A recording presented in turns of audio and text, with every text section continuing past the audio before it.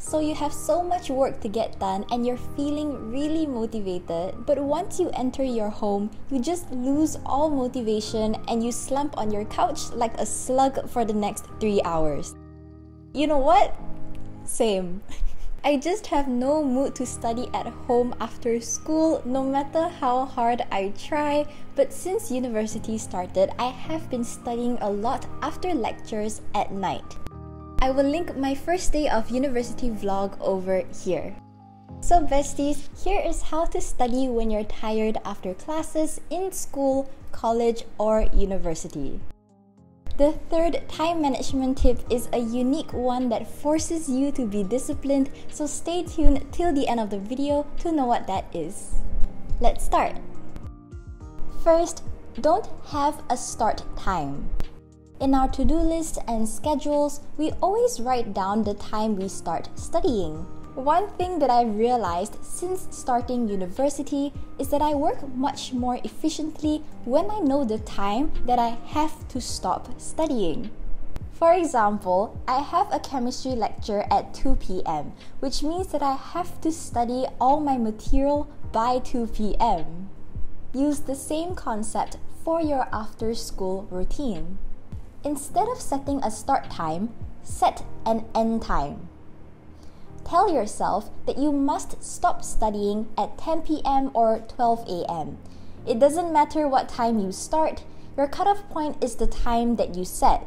This new mindset changes everything because you can be disciplined and start studying at the time that you wrote in your schedule, but if you don't have an end time, you're just going to work slowly and drag everything until you're too tired to complete it.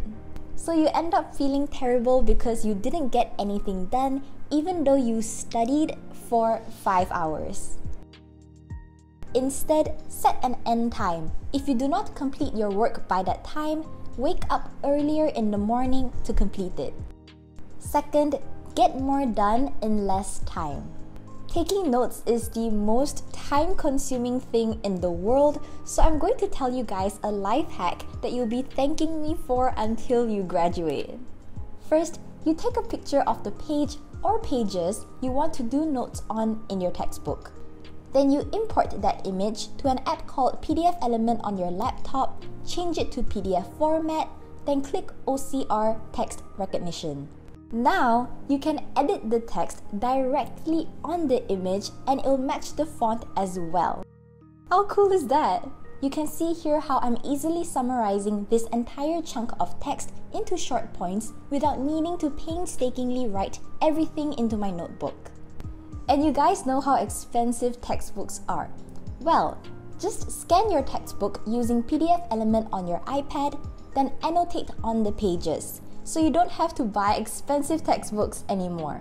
You can highlight, write sticky notes, draw on everything, including your teacher's slides and your notes. You can download PDFelement for free using the link in my description box, and if you're a student, you can purchase the Pro version at a huge discount right now. Next, how to be forced into being disciplined. Let's just say you want to have a study day because exam is near. Go outside, go to a public library or your school library. Whatever the length of time you want to study for, cut that time down by 20%. If you want to study for 6 hours, shorten that to 4 hours and 45 minutes, and so on. When you're truly tired, there's no way you can study for 6 hours straight, especially after school. You'll spend a lot of time daydreaming or listening to a lecture and not understand any of it. So, cut that time down. You can still get everything done, but it eliminates the amount of time you can spend daydreaming. By the way, if you want to know how to focus when studying and stop daydreaming, then check out my video here. And I emphasized to go outside to a library because it's a little bit hard to do this time management technique at home where it's really easy to drag on your study session. So, if your study session is 4 hours long, go to the library at 2 p.m., which is 4 hours before they force you to leave. Next, how to cut down on your to do list. I'm a little bit behind on lectures right now because I'm a perfectionist and I do way too much for everything. So I wrote down everything that I have to do for the week. I highlight the tasks that I absolutely have to get done. Then I move the rest to a list that I appropriately named if I have time. Do you really need to pre read the material that you're going to learn in class tomorrow? No. Do you really need to finish your physics homework when you have a maths exam coming up? No. Do you need to do all the readings for your university classes? Absolutely not. All these are great habits to practice, but they aren't a priority. Sometimes you just have to make sacrifices and be honest with yourself. Do I have the time? Is that worth my mental health? If I don't do it, so what? I faced this dilemma two weeks ago catch up with my lectures or upload a YouTube video. Considering that I had an exam in a few days, I had to make a sacrifice and skip an upload. Am I happy about that decision? No, but was it worth it? Yes, I got full marks for that test. The day after this video is published, I will be posting a mini vlog of my exam day over on my Instagram, so be sure to follow me there. Next, an advertisement might play in the next few seconds, so if you want to support this channel, please do not skip the ads. Thank you. Do not take a nap. So many of us feel like we're wasting time when we're taking a break or a nap. Well, I'm here to tell you this don't take a nap, go and sleep. It's much better for you to go and sleep for 2 hours from 4 pm to 6 pm and feel super refreshed, then study extremely productively from 7 pm to 12 am. Instead of focusing on the fact that you're only starting to study really late at night at 7 pm, Remind yourself that that is followed by 5 hours of effective study time. This is much better than hanging around scrolling on TikTok for 30 minutes, then napping for 20 minutes, eating some snacks, and watching YouTube videos for another hour.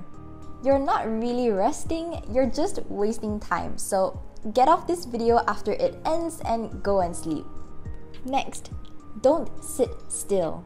If you're tired, study standing up. Don't underestimate the effectiveness of this because I did for a really long time. Of course, you'll be sleepy if you're slumped over a chair, but once you stand, within seconds, you're going to feel much more alert. Your posture is better and your back will be a little less sore. So, why is standing so effective? It's because it's harder to do. Little things like needing to balance your body weight, Stretching your legs and shifting from foot to foot will help keep you alert as your brain has more things to manage. You can also set a timer for 30 minutes. When it goes off, walk around for a bit and do some stretches. Trust me, you'll feel so much better. I'm literally writing this script while standing up because it's 12 am and after a long day, I need to do anything that can help me get through one more task. And if you're watching this video by the 27th of March, it means that this tip worked because I got my script done. If you've made it this far, comment down below if you have high or low energy after school. Like, subscribe, and turn on the notification bell and set it to all so that you do not miss out on any future uploads. Thank you to Wondershare for sponsoring this video and thank you to you guys for 413,000 subscribers. I'll see you all in my next video. Bye bye.